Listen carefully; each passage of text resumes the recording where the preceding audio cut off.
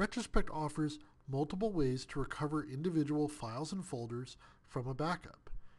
The easiest way, and one of the most common ways, is to click on the Restore button at the top of the screen, and then select the option that says Restore Selected Files and Folders, and then click on Continue. You will then be given a list of all your previous backups.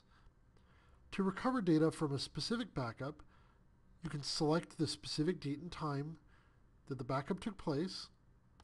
You'll also see the name of the computer the files came from, and you'll also see the name of the folder or the disk that the files came from. I'm going to go ahead and click on the Browse button, and under the Browse button, it'll show me the list of the actual files that were backed up. I can then go into that list and locate a specific file I'd like to recover. And I can go ahead and select those items and then click on Continue. And then I need to select where I'd like to put the files. In this case, I'm going to put the files on the internal hard drive of my computer, but I don't want any files to be overwritten during the restore. So I'm going to click on the button that says Restore to a new folder. This will create a new folder on the destination disk with the same name as my media set. And inside that folder will be the actual items I've told the software to recover. And I click on Continue, and then I click on Start Now.